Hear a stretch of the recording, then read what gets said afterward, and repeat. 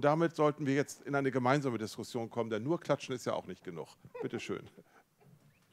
Mikro, das Mikro kommt, sonst kann es auch meins sein. Ah, es kommt schon eins.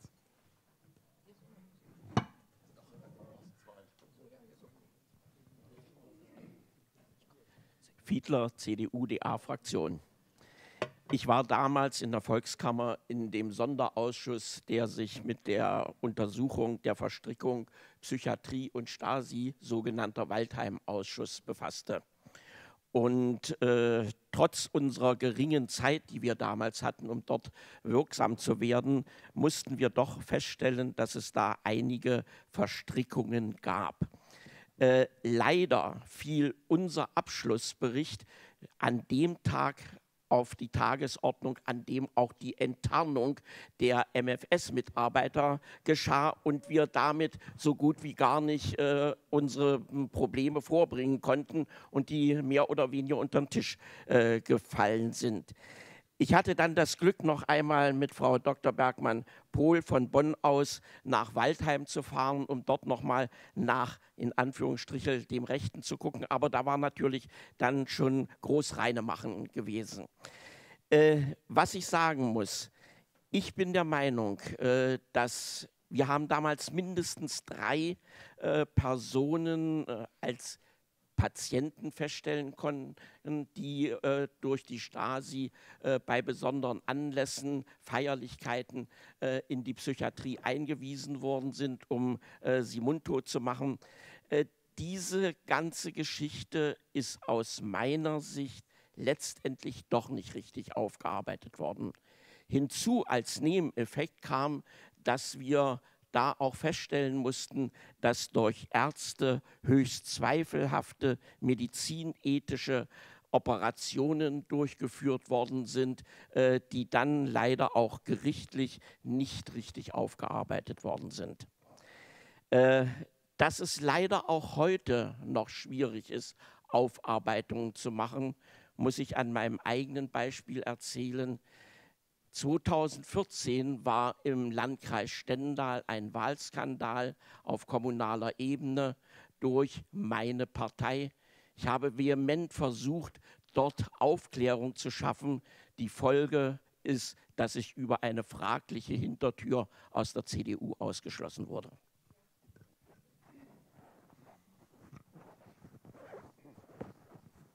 Wir gehen einfach eine Reihe.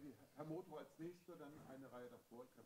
Ich weiß nicht, Frau Präsidentin, ob Sie sich erinnern, dass wir ein Gespräch zu meiner Überprüfung im Bundestag hatten. Das Resultat war ja damals drei Momente. Erstens, dem schlechten Regime habe ich gedient. Zweitens, ich war um Schadensbegrenzung bemüht. Und drittens, auch zu mir gab es MFS-Akten. Was wir damals leider nicht gemacht haben, Davor, dazu habe ich nun vor zwei Jahren geklagt und erlebe, wie schwer es ist, was Herr Hilsberg gerade so emotional gesagt hat. Ich will meine Akte, ich will sie auch. Ich will aber meine Akte, die eine vom MFS, kriegten Sie erst und gaben mir dann diese Akten, um mit mir zu reden. Die andere Akte vom MFS habe ich mir inzwischen auch geholt, was es bei MFS gibt. Dann habe ich geklagt am deutschen äh, Bundesverwaltungsgericht und es ist festgestellt worden, berechtigt geklagt. Und ich bekomme nun auch Auskünfte, aber keine Akteneinsicht. Die vom BND. Und wenn wir damals bei meiner Überprüfung, vielleicht auch beim BND gleich nachgefragt hätten, für den Abgeordneten wäre das vielleicht doch ein richtiger Schritt gewesen. Denn diese Aufarbeitung, das sage ich mit aller Entschiedenheit, auch, ich weiß nicht, ob man noch Werner oder ob man Herr Schulz sagt, wie auch immer, Problem besteht doch darin, das merken wir doch hier, Zeitzeugen waren sich nicht immer Freunde und sind sich heute auch nicht immer Freunde.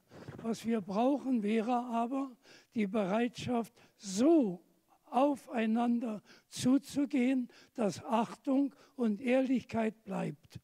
Was ich jetzt erlebe, ist, seit 1956 habe ich Akten beim Bundesnachrichtendienst. Das geht bis zum Dezember 2018. Ich habe die ersten nicht Einsicht in die Akte, sondern bekomme Auskünfte, was es gibt. Sie können sich ja vorstellen, was mich beschäftigt, wenn ich jetzt vom BND mitgeteilt bekomme, dass 1988 in Prag Gorbatschow und Jaruzelski sich darüber unterhalten, ob Modrow der geeignete Nachfolger für Honecker ist. Das teilt jetzt der BND mir mit. Es gab dieses Gespräch. Da muss ich mich nicht wundern, wenn ich in der zweiten Hälfte der 80er Jahre nicht unbedingt der große Freund bei Honecker war. Wenn in den Medien der Bundesrepublik von den Hoffnungsträgern die Rede war. Der Dienst hat auch seine Aufgaben gehabt, sich in Politik einzumischen.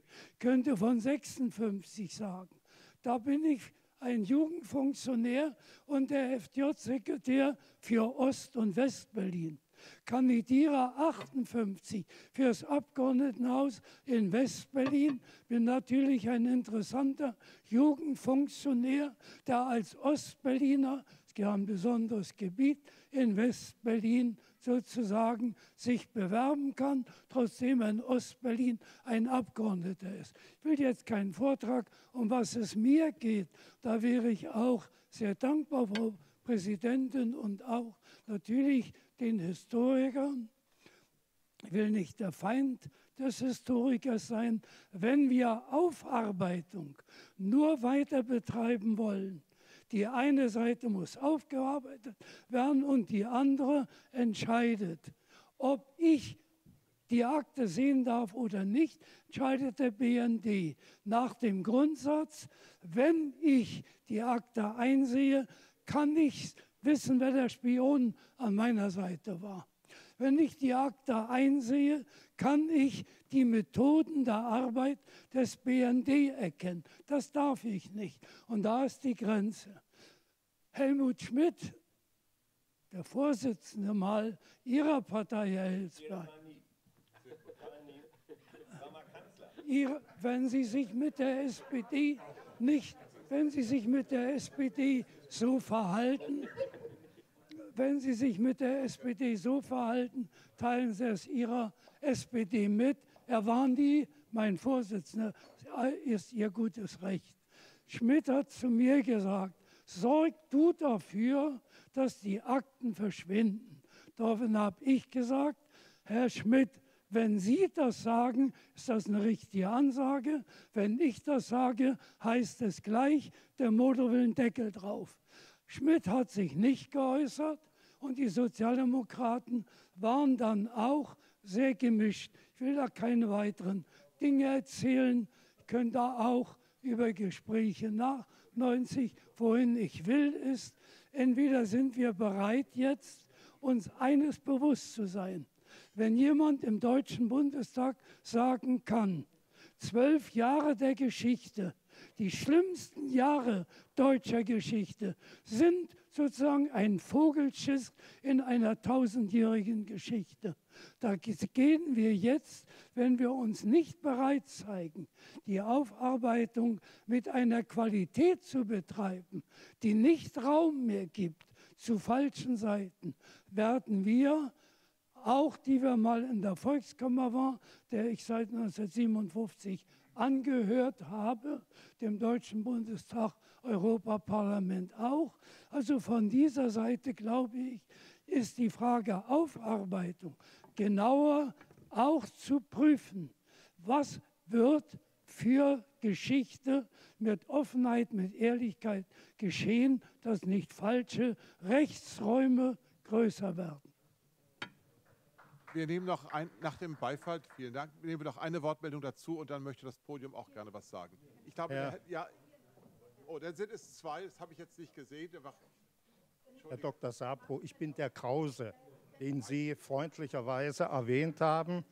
Nicht erwähnt haben Sie, dass ich damals zwei Funktionen hatte. Ich war parlamentarischer Staatssekretär der DDR-Regierung und musste die Vorgaben auch eines Dr. Distel umsetzen. Und ich war gleichzeitig Fraktionsvorsitzender der größten Fraktion und musste auch die Vorgaben umsetzen. Sie haben nur zitiert von mir, was ich gesagt habe in der Verantwortung als Staatssekretär. Nun will ich Ihnen helfen, die historische Wahrheit rauszukriegen. In der Nacht vom 30. zum 31. August fand eine Nachtsitzung statt in Bonn. Wenn Sie sich erinnern, wurde ja der Einigungsvertrag dann am 31. August in Ostberlin unterschrieben. In dieser Nachtsitzung kam es natürlich zu der erwarteten Konfrontation zwischen Wolfgang Schäuble und mir, weil nämlich das Bundesinnenministerium vorgeschlagen hatte, die Stasi-Akten zu vernichten und das Innenministerium der DDR nur zugestimmt hatte. Dies da, wir kennen ja alle Peter Michael, und eigentlich habe ich da nichts dagegen, machen wir das. So, die Meinung der Volkskammer war eine ganz andere. Ich würde mich freuen, wenn Sie in der Darstellung, in der Geschichtsdarstellung Folgendes berichtigen. Die Volkskammer hat dann den äh, Abgeordneten Gauck gewählt. Es wurde in die Verhandlungsdelegation kein Mitarbeiter des DDR-Ministeriums mehr eingestellt, damit der Dr. Gauck mit mir gemeinsam gegenüber der Bonner äh, Delegation ganz klar sagen konnte, entweder unterschreiben wir den Einigungsvertrag und dann müssen die Stasi-Akten offen bleiben oder die deutsche Einheit findet nicht statt. Das ist von uns gekommen. Das ist einfach eine Frechheit, wenn Sie sich hier hinstellen und sagen, der Krause, der war dagegen. Zum Zweiten, Rita, der 218 wurde auch im Einigungsvertrag geregelt. Es ist nämlich in der DDR alles beim Alten geblieben unser Recht bis zum 31.12.1992. Und dann ist letztendlich nicht nur der grüne Abbiegepfeil äh, umgesetzt worden, sondern in der äh, Legislaturperiode wurde im Grunde genommen das Abbruchrecht der DDR übernommen mit einem höheren Beratungsanteil.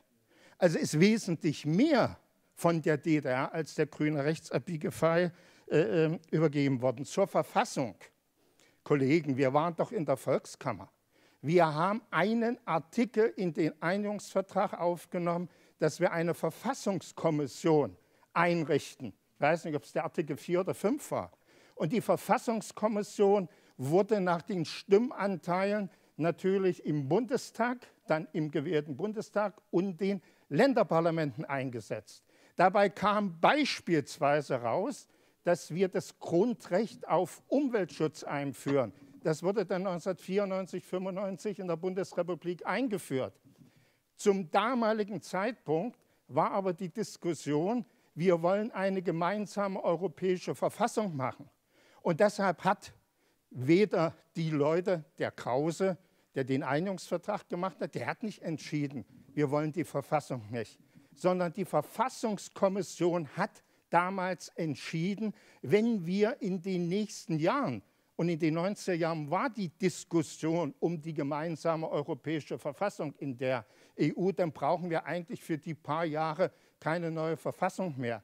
Dass man heute natürlich diese Diskussion aus meiner Sicht durchaus auch auf der Basis des Artikel 5 ist es, glaube ich, des Einigungsvertrages wieder äh, führen müsste, ist ganz klar. Ich will noch einen Punkt sagen. Eigentlich ist der Einigungsvertrag, der Kollege Moth hat vom Fliegenschiss gesprochen, ja gar nicht der entscheidende Vertrag gewesen. Der ist ja nur hochgespielt worden, weil der damalige Innenminister den unterschrieben hat. Der wichtigste Vertrag war die Wirtschafts-, Währungs- und Sozialunion. Das ist der eigentlich wichtige Vertrag. Und in dem Vertrag steht drin, politisches Ziel ist die Angleichung der Lebensverhältnisse in fünf Jahren. Gleiche Löhne, gleiche Renten warum die Historiker sich nicht mal den Vertrag angucken und dann die Politik fragen, dass wir als Ostdeutschen heute noch betteln müssen, dass man die Löhne und die Renten angleicht. Vielen Dank.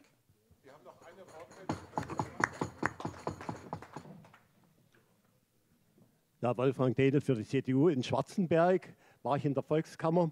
Äh, ich möchte auf Herrn Scholz mal kurz antworten. Sie hatten gesagt, dass in der Volkskammer niemand gewählt worden oder gegangen wäre, äh, der nicht gleich für die deutsche Einheit war. Ich kann Ihnen ein Beispiel nennen.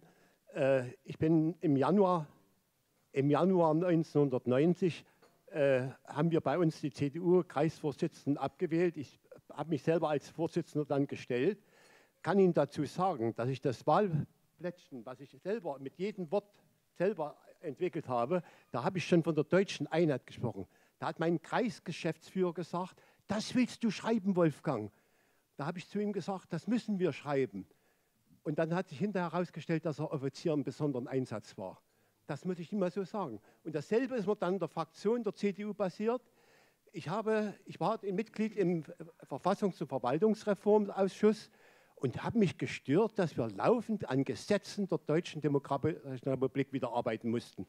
Und da ich dann, bin ich dann in der Fraktion aufgestanden und dass mich das stört, dass wir eine neue Verfassung machen wollen, wo das Grundgesetz der Bundesrepublik mich so beeindruckt hat, wo ich das zum ersten Mal gelesen habe, dass 1948 diese äh, Kollegen und, und, und Parlamentarier ein Gesetz entwickelt haben, aus so einer schlimmen Zeit heraus, da habe ich gesagt, das müssen wir übernehmen, das können wir wortwörtlich übernehmen.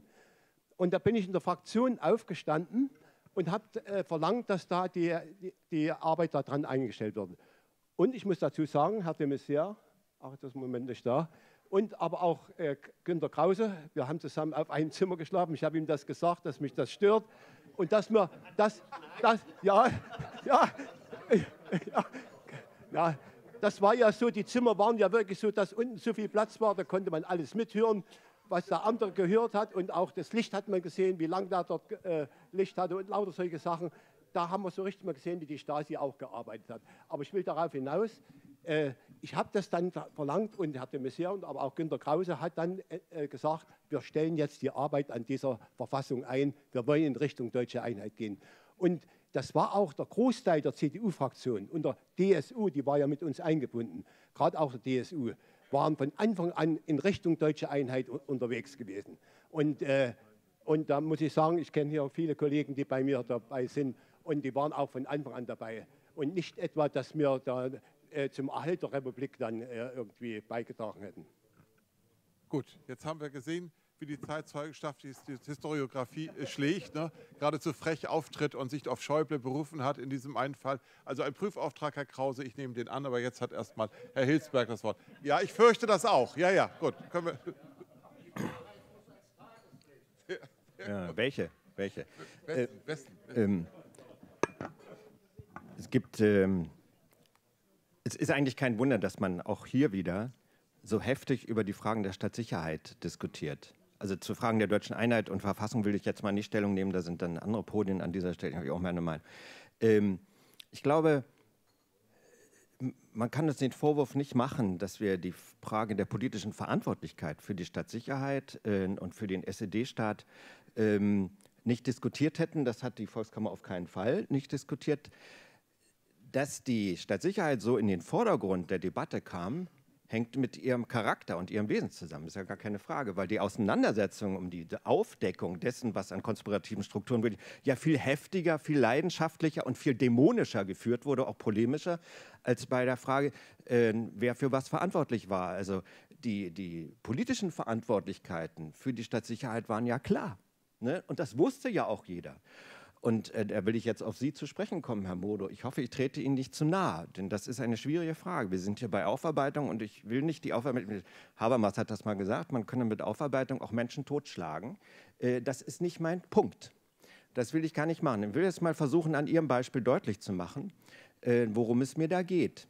Sie waren als erster Sekretär des, der Bezirksleitung der SED in Dresden unmittelbar zuständig für den Bereich der Stadtsicherheit, der Ihnen zugeordnet war. Und nun will doch keiner sagen, dass im Bezirk, alten DDR-Bezirk Dresden die Stadtsicherheit leichter oder viel menschlicher gearbeitet hat als in den übrigen Bereichen.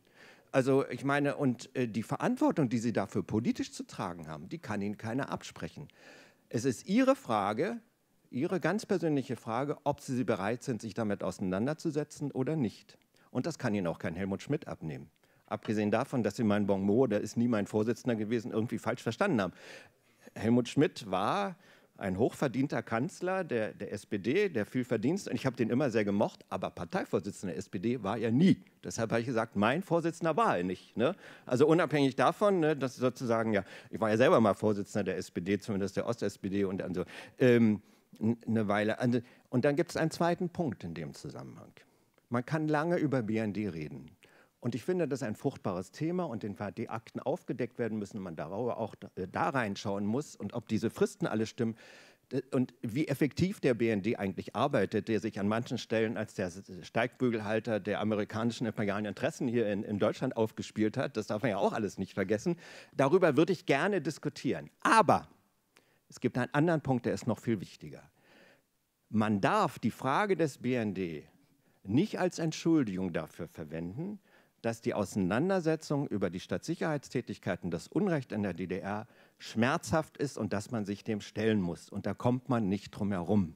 Und man muss sich zuerst, und das ist ein Gebot der Aufarbeitung, man muss zuerst bereit sein, sich selbst zu fragen, was hast du eigentlich selbst gemacht? Inwiefern hast du dich mit verstricken lassen? Natürlich waren da Repressionen und Pressionen und weiß ich was. Und es waren auch ähm, Verlockungen und Privilegien, die da alle eine Rolle spielen. Aber man hat sich da hineinbringen lassen. Und es gibt, das ist ja das Problem, in einer Diktatur fast keinen Menschen, der von den Einflüssen dieser SED frei war. Das gilt für den Nationalsozialismus ganz genauso wie für die SED-Diktatur. Dem muss man sich stellen. Man muss bereit sein, über die eigene Schuld zu reden. Zumindest sich selbst, in, wenn man in den Spiegel guckt, sich selbst einzugestehen, wo man sozusagen sich hat missbrauchen lassen.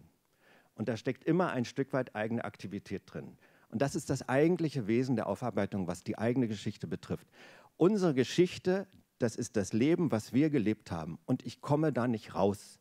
Und ich muss das auch gar nicht wollen. Man kann auch stolz darauf sein. Aber man muss bereit sein, sich damit auseinanderzusetzen. Man tut das im Übrigen sein ganzes Leben lang. Und die Frage ist, verdrängt man verweigert man sein eigenes schlechtes Gewissen und weist die Schuld anderen zu oder ist man bereit einzugestehen, da hast du versagt? Da gehört sehr viel zu. Und diese Bereitschaft, sich einzugestehen, da hast du versagt, ist viel wichtiger als das ganze Gerede von Versöhnung und Vergebung. Das ist der eigentliche Punkt, der produktive Punkt von Aufarbeitung.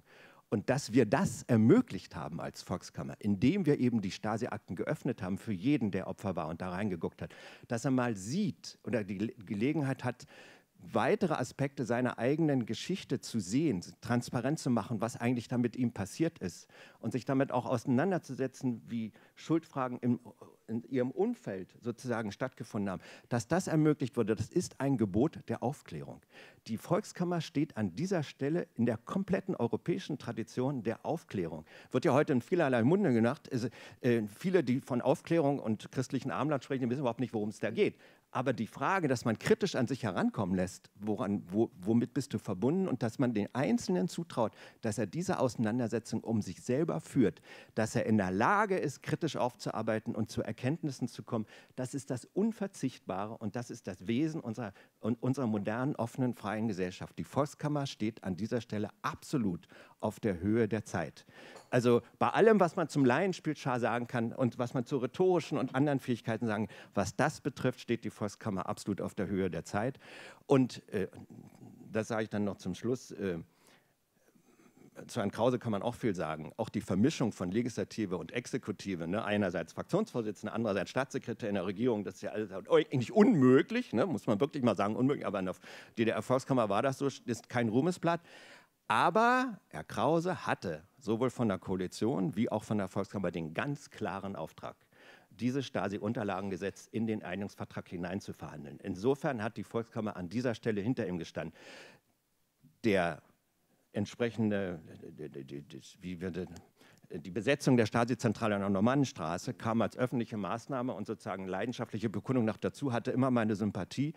Äh, aber das darf nicht vergessen machen, dass die Volkskammer selbst, in der Volkskammer selbst ganz klare Mehrheiten dafür waren. Und dass es natürlich völlig richtig war. Uns war das so wichtig, dass wir drohen konnten, wenn das nicht durchkommt, gibt es möglicherweise keinen Einigungsvertrag, obwohl jeder weiß, dass das illusorisch war. Ne, muss man schon mal sagen. Aber da, hat, Politik hat auch viel an dieser Stelle mit Pokern zu tun, das muss man eben einfach mal sagen. Und ich weiß noch, wie ich mich geschämt habe, als Helmut Kohl mal bei uns in der Anhörung der Enquete-Kommission war und hat dann plötzlich gesagt, also ich, ich weiß ja, was ich mit den Stasi-Akten tun würde, ich täte die versenken ne, oder, oder ins Feuer werfen. Und niemand von uns hatte die Stirn gegenüber dem Kanzler zu sagen, Herr Kanzler, das ist ein schwerer Fehler und das hätten Sie mal tun. Also dazu sagen, Sie werden den Traditionen der Revolution in der DDR, die zum Schluss zur deutschen Einheit geführt werden, auf diese Art und Weise nicht gerecht. Enkelmann? Herr äh, Friedrich, Friedrich Scholl, oh, Friedrich Schollemmer wollte ja ebenfalls ein Freudenfeuer im Land der Bücherverbrennung mit diesen Akten anfangen, aber das nur nebenbei. Ich ich weiß nicht, ich weiß nicht, ob man Versöhnung äh, verordnen kann oder ob Versöhnung das richtige Wort ist. Vielleicht ist Respekt und Achtung für, für jemanden, der sich seiner Verantwortung gestellt hat, das Entscheidende. Ich habe das gegenüber Günter Schabowski zum Beispiel empfunden. In den eigenen Reihen wird er eher als Verräter betrachtet. Ich fand das unglaublich wichtig, was er geleistet hat zur Aufklärung. Er ist in sich gegangen, er hat Verantwortung übernommen, er hat die Sache analysiert, wie auch immer man sich dazu stellen mag. Also bei solchen Menschen fällt es mir leicht, ähm, den nötigen Respekt aufzubringen, weil es ist, glaube ich, nicht einfach, sich der Inventur seiner inneren Widersprüche und Illusionen zu stellen ähm, mit der Verfassung, ich will das jetzt nicht ausweiten, der Gedanke zur deutschen Einheit ist erst nach dem 9. November, nach dem Mauerdurchbruch gekommen. Also man kann die Mauer nicht wegreißen und das Echo ignorieren. Es hat dann alle, alle Gruppierungen und politischen Strömungen erfasst, wie könnte die deutsche Einheit aussehen. Und ich erinnere daran, anfangs im November, Zehn-Punkte-Plan von Helmut Kohl. Es gab nur Vorstellungen für eine Konföderation. Das Ganze hat sich dann im Eiltempo entwickelt und äh, wir haben im neuen Forum, ich weiß noch, im Januar haben wir uns offiziell gegründet, gab es einen Änderungsantrag von Jochen Gauck, der praktisch uns als Ziel die deutsche Einheit ins neue Forum geschrieben hat, egal wie die dann im Einzelnen hätte kommen sollen. Ich glaube, der Artikel 146 ist wichtig, nach wie vor. Äh, ich habe den Verfassungsentwurf vom runden Tisch immer als Vermächtnis dieser friedlichen Revolution verstanden. Wir hatten damals nie den Anspruch, dass der vollkommen übernommen wird. Wir haben gesagt, vielleicht fünf Prozent davon. Fünf Prozent unserer Erfahrung aus einem diktatorischen System, wenn das ins Grundgesetz mit einfließen könnte, weil ja dort stand, der Stefan hat es erwähnt, das Grundgesetz als Provisorium ist für diejenigen mitgemacht worden, die damals nicht die Chance hatten, daran mitzuarbeiten. Deswegen die offene Stelle im 146 1946, dass das deutsche Volk in freier Selbstbestimmung sich eine Verfassung gibt. Das ist nach wie vor nicht erfüllt. Und ich glaube, es hätte gerade heute, wo die gesellschaftlichen Bindungskräfte schwinden, eine hohe eine hohe Identifikation, dass die Ostdeutschen begriffen hätten, sie bringen nicht nur verschlissene Betriebe und Keller voller Stasi-Akten mit in die deutsche Einheit. Viel mehr war ja dann nicht aus dieser heruntergekommenen maroden DDR mit in die deutsche Einheit zu bringen, sondern es gibt ideelle Werte beispielsweise, dass sie die Demokratie selbst errungen haben, nicht von den Alliierten geschenkt, sondern dass man selber dieses Parlament äh, gestürmt hat. Im Grunde genommen die erste parlamentarische Demokratie aus eigener Kraft, ohne, ohne die, die äh, Assistenten der Alliierten. Und wie schwierig, wie schwierig die, die Aufarbeitung ist. Äh, Herr Professor Sabro hat mir Ihre generöse Bemerkung zum 8. Mai deutlich gemacht, wo Sie meinten, äh, das sei doch nur eine nachholende Erklärung gewesen der Volkskammer. Ich glaube, da sitzen Sie einer bundesdeutschen faulen Kompromiss auf. Bei Ihnen ist offensichtlich diese Weizsäcker-Rede zum 8. Mai der große Konsens. Also das war ein Tag der Befreiung. Wenn ich diese Rede lese, dann muss ich sagen, das ist nur ein Aspekt. Es war ein Tag der Befreiung. Für einige Leute war es ein Tag der Befreiung. Für Herrn Weizsäcker und seine Familie war es ein Tag der bitteren Niederlage.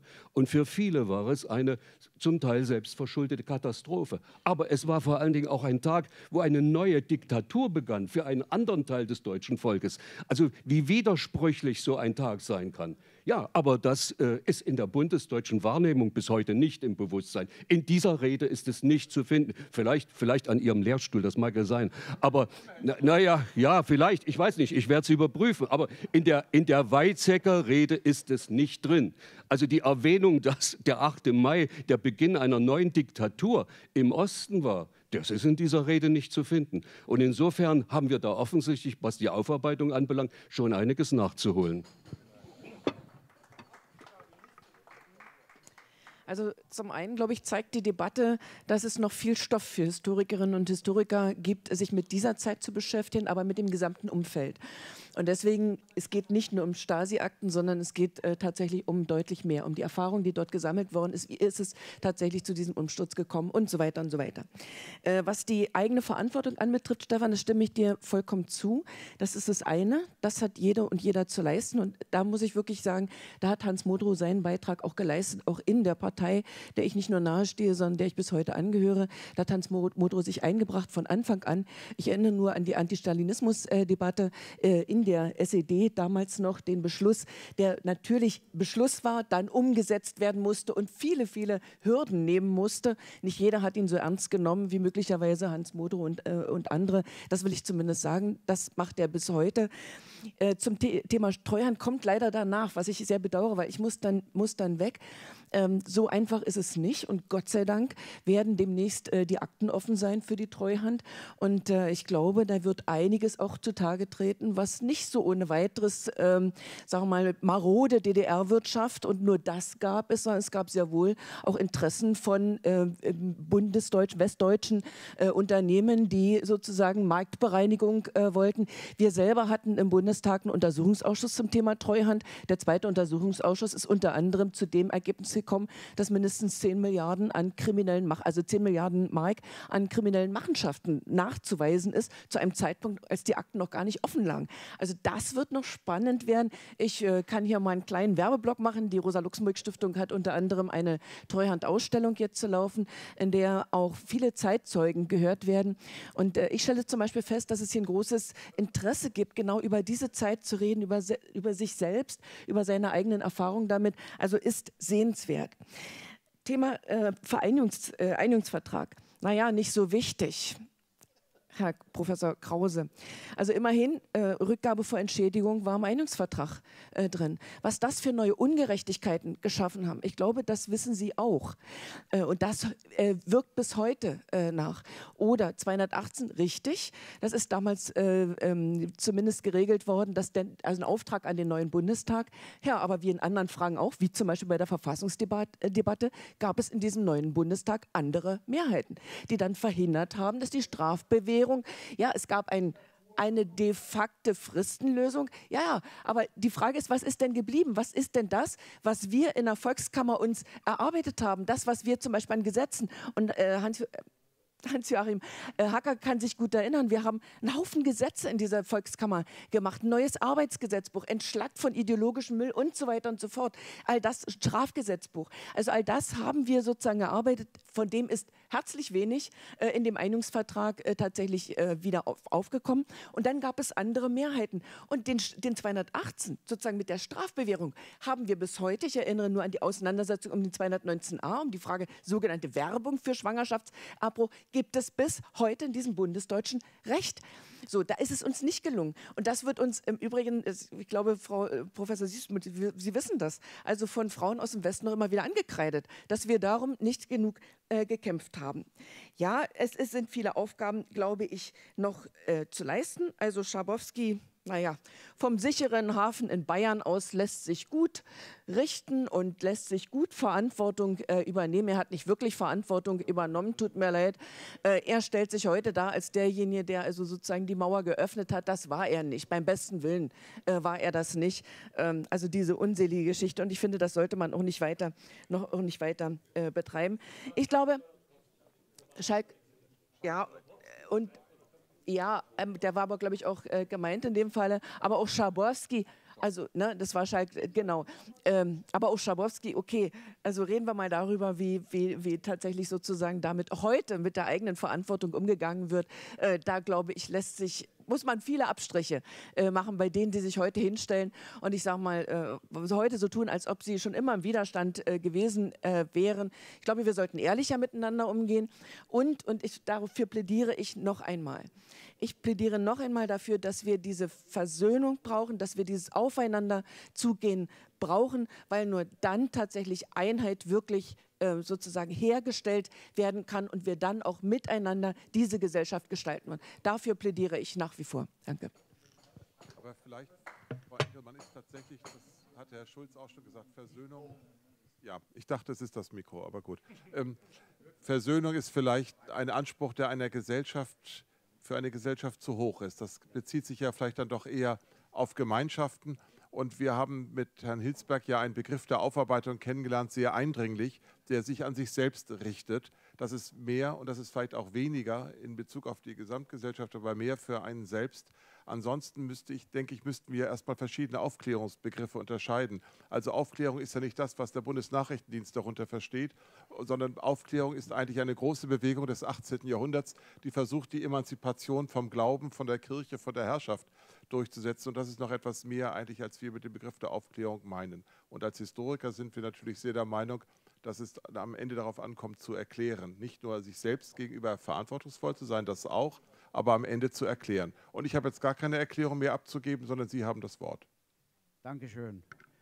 Äh, ich bin erstaunt, dass wir hier heute Abend in der Stimmung eine Widerspiegelung finden, die wir sehr oft angetroffen haben. Äh, ich bewerte das durchaus positiv, denn keiner von uns, so unterschiedlich die Meinungen auch waren, ist rausgelaufen oder hat einen Stuhl geworfen. Wir haben auch, Gott sei Dank, die Relation zwischen Männlein und Weiblein gehalten, wie sich das gehört. Meine Damen und Herren, ich neige dazu festzustellen, dass wir zu viel pauschalisieren. Es wurde aufgerufen, gebt euch die Hand und vertragt euch endlich, ansonsten geht es nicht auf. Das ist unser Problem schon seit Anfang an und wir haben es während der Wiedervereinigung gehalten. Äh, wo ich ein Problem sehe, ist, dass wir durch die Pauschalisierung jene, die sich strafbar gemacht haben und Verbrechen begangen haben, decken und jene, die daran nicht beteiligt waren, sondern gelebt haben, so wie wir heute in Deutschland oder so wie wir in der DDR, dass wir dort im Bausch und Bogen mit hineingeschlagen werden. Ich bringe Ihnen mal ein Beispiel, damit das leichter zu verstehen ist. Ich bin 1940 geboren, ich bekenne mich schuldig für fünf Jahre seit Zweiter Weltkrieg. Ich hoffe, ich hoffe, dass Sie sich erinnern an den Paragraphen unseres Grundgesetzes, was da drin steht, bezüglich der Vergangenheit, wo ich schuldig bin. Wir dürfen den gleichen Fehler hier nicht wieder machen.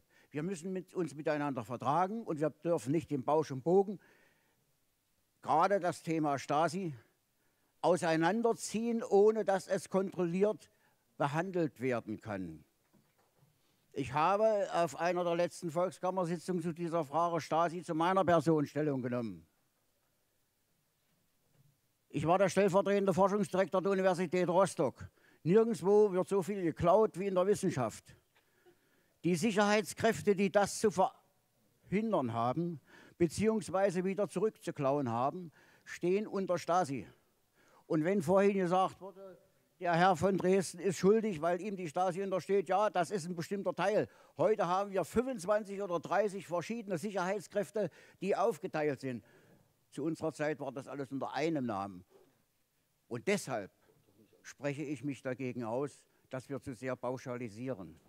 Ich persönlich bilde mir nicht das Recht zu, über das Tun und Lassen meines Vaters und Großvaters zu reagieren.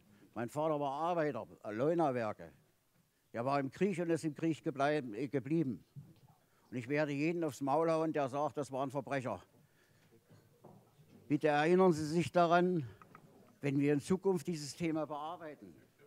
Wir dürfen nicht pauschalisieren. Das Thema Stasi wird nämlich an vielen Stellen genutzt, um Verbrechen zu verheimlichen und zu, und zu vertuschen. Zu meiner Person wurde nach der Volkskammerzeit auf allen Medien, in allen Zeitungen und im Fernsehen von Stasi gesprochen. Auf meine Frau und auf mich gibt es mehrere Mordanschläge. Bei, meiner, bei der ersten Zusammenkunft, die wir hatten zum zehnjährigen Bestehen, wo die Frau Präsidentin eingeladen hat, als ich zurückkam nach Elmenhorst, das ist das Wahlgebiet von der Frau Kanzlerin, äh, als ich dort zurückkam, war der Betrieb zerstört. 43 Arbeitsplätze weg. Wer tut sowas? Jene, die das vertuschen wollen, was seit 1972, gehört zwar ins nächste Thema, was 72 erfolgte, mit der deutschen, Wiederver mit der deutschen Anerkennung und mit, den Auf mit der Aufhebung des Embargos gegen die DDR ging das Geschäft los und 1978 war die Wirtschaft der DDR zu 100 Prozent integriert in, des, in den europäischen Teil. Dazu wurden 50 Milliarden vom ZK bereitgestellt, um verdeckte Unternehmen in der Bundesrepublik und westlichen Europa zu gründen. Ja, vier Fünftel des erarbeiteten Wertes in der DDR gingen durch die Umrechnung 1 zu 5, wenn die Artikel über die Grenze gingen, weg. Das hat uns viel Arbeit gekostet. Und ich möchte das nicht, dass es nicht aufgearbeitet wird. Ich möchte, dass wir uns darüber heute nicht erzürnen, sondern das ist Historie. Und damit sollen sich die Historiker, äh, äh, die, die Historiker beschäftigen wenn ein Staat so wie wir mit viel Fleiß, mit einem Fünftel dessen, was erarbeitet wurde, existiert hat bis zur Wende, dann war es höchste Zeit, dass wir die Wiedervereinigung haben. Denn der Abwärtstrend war zu sehen. Es wurden ja selbst die, die Pflastersteine den Straßen rausgerissen und wurden verscheuert. Ich möchte, ich möchte nicht der Tagesordnung vorgreifen, aber ich möchte meinen Ausdruck oder ich möchte mit meinen Worten zum Ausdruck bringen dass wir einen sehr interessanten Abschnitt deutscher Geschichte miterlebt und mitgestaltet haben. Und dass wir bei all den vielen unschönen Dingen, die uns zu Gesicht gekommen sind, das Gute bitteschön sehen. Und dass wir alles tun sollten, dass, die, dass wir die Politiker, die heute aktiv sind, dazu anregen, solche Hetzkampagnen zu unterlassen, wie wir sie im Moment erleben. Ich habe mir die Rede unseres, ich habe mir die Reden der letzten Tage unserer, unserer äh, Politiker angehört, die letzten Monate seit der Bombardierung von Dresden und, und, und, und, und, und. Äh, bitte, und das sollen die letzten Worte sein, bitte nutzen Sie Ihre Möglichkeiten der Beeinflussung, das mit Feingefühl, das Miteinander durch unsere Politik qualitativ aufgewertet wird. Es ist nicht mehr zu ertragen, dass die merken gar nicht mehr, wen sie da beleidigen. Und dieser Tag hier soll dazu da sein, dass wir ein Stückchen auf unsere Seele gießen und sagen, wir haben dort alle mitgestaltet. Dankeschön. Danke. Eine letzte Wortmeldung ist dort, bitte sehr. Ja. Es ist an. Ja, mein Name ist Prochnow. Ich war 27 Jahre damals CDU-DA-Fraktion und als Ingenieur im Rechtsausschuss äh, äh, gelandet sozusagen. Und ich habe immer noch also sehr, sehr, um das mal äh, von dir aufzugreifen, immer noch als, als, als wichtigste Erfahrung dort mitgenommen, in welcher Art und Weise wir uns dort sachlich und fachlich äh, begegnet waren. Leute, die in der Regel keine Juristen waren, so wie ich als Ingenieur, und Leute wie der äh, Professor Jens Heuer als altgestandener, allerdings auch erzkommunistischer äh, äh, äh, Juraprofessor haben es geschafft, weil nicht selten wurden also Vorlagen äh, äh gegen 1 Uhr nachts noch in den Rechtsausschuss überwiesen, damit es um 9 Uhr früh weitergehen konnte. Dann haben wir so 6, 6 bis 8 Uhr da gesessen, äh, damit wir um 9 wieder ins Plenum konnten. Und wir haben es geschafft, äh, äh, nahezu in jedem, die, bei jeder dieser Aufgaben Konsens, in, im Konsens da rauszugehen und einen zu bestellen, der als Rechtsausschuss dort im Plenum sprechen konnte. Das ist jetzt tatsächlich was, was ich mir momentan im Bundestag relativ schwer vorstellen kann. Äh, das ist, das ist das. Ich wollte nur eine Fußnote bringen, weil wir ja dann das Thema wechseln. Ich habe danach nach der Wende Rechtswissenschaft studiert. Ich habe dann 1995 eine wissenschaftliche Arbeit geschrieben über BND, äh, äh, Bundesverfassungsschutzgesetz und G10 und lauter solche unappetitlichen Geschichten. Ähm, und unter anderem festgestellt, dass nach dem G10 also schon ordentlich auch Briefe geöffnet wurden, schon ordentlich auch Telefonate mitgehört wurden und das eigentlich in höherem Umfang noch als die Stasi dazu technisch überhaupt je in der Lage gewesen wäre. Das muss man schon mal sagen. Dieses, dieses äh, äh, äh, Geschäft ist ein dreckiges Geschäft, insbesondere auch in Zeiten des Kalten Krieges. Und äh, die Fußnote, die ich bringen wollte, ist die, dass wir können ja mal raten, Sie werden es wissen, seit wann haben wir denn überhaupt eine Ermächtigungs-, eine Rechtsgrundlage für den BND, für den MAD und für den Bundesverfassungsschutz? Das ist äh, ein Geheimerlass von Konrad Adenauer von 1957 gewesen und erst sozusagen in Fernwirkung oder auch in irgendeiner diffusen Abstrahlung all dessen, worüber wir jetzt die letzten zwei Stunden gesprochen habe, haben, hat sich äh, äh, der Bundestag und der Bundesrat im Jahr 1990 dazu entschlossen, in, äh, im Dezember ein Bundesverfassungsgesetz, äh, Bundesverfassungsschutzgesetz, ein MAD-Gesetz und ein BND-Gesetz überhaupt zu machen. Bis nach der Vereinigung beider deutscher Staaten sind unsere Kolleginnen und Kollegen Maulwürfe und Schlapphüte in der Bundesrepublik Deutschland ohne ordentliche Ermächtigungsgrundlage äh, unterwegs gewesen. Das war er nicht, aber er hatte, er, er, er, hatte, man hatte es nicht für nötig erachtet, eine Rechtsgrundlage zu schaffen für die Tätigkeit dieser Organe. Gut. Und vielleicht hat die Volkskammer auch dazu dann mal beigetragen. Ja, Ganz herzlichen Dank für, auch für diese Wortmeldung, einschließlich des ersten Zwischenrufs, den wir in diesem Parlament hatten. Weiter geht es nicht. Es kommt jetzt die Glocke. Aber ich stelle doch fest, was eben Stefan Hilsberg zu mir flüsterte, die letzte Volkskammersitzung war gar nicht im Frühherbst 1990 gewesen. Die findet ja jetzt gerade statt.